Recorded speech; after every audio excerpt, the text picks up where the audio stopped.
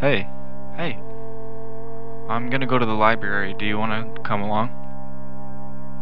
Um, no thanks. I'm gonna stay home. Okay, I'll see you.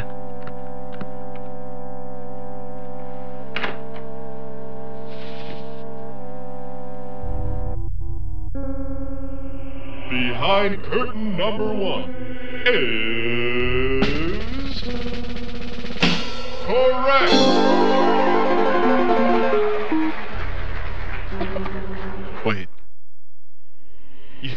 You, don't remember what she looks like.